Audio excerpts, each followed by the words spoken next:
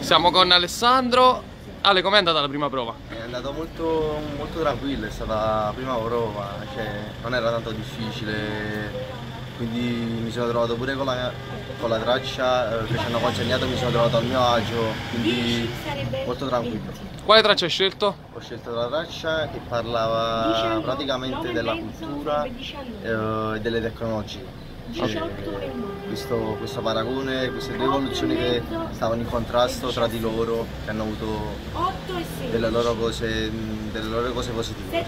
Ok, cosa ti aspetti dalla seconda prova invece? Dalla seconda prova sarà un po' più complicata, però la prendiamo sempre sul positivo. Emi dell'Istituto Biotecnologico Sanitario. Hai, hai fatto la prima prova, cosa hai scelto? La tipologia B2 del test argomentativo mi è piaciuta perché parlava un po' delle tecnologie innovative e quindi uh, mi interessava questo. Ok, cosa ti aspetti da domani invece? Eh, non lo so, spero solo che andrà tutto bene e basta. Come è andata questa prima prova? È andata abbastanza bene, diciamo che rispetto alle prove che abbiamo fatto in precedenza è stata un po' più difficile ma abbastanza agevole. Ok, che traccia hai scelto? La traccia A2 era un racconto di Leonardo Sciascia. Ok, e invece per domani cosa ti aspetti? Per domani mi aspetto che i professori ci faranno copiare tutto perché matematica e fisica è molto difficile. Jasmine, com'è andata la prima prova? Allora, abbastanza bene.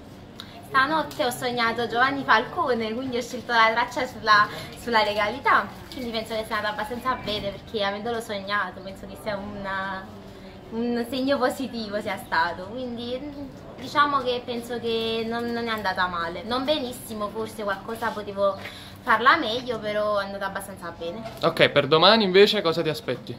La prova di domani è una tragedia perché? Mamma mia, una tragedia. Spero veramente che oh, i professori siano molto gentili nei nostri confronti. Però vabbè, come va, va ce la prendiamo.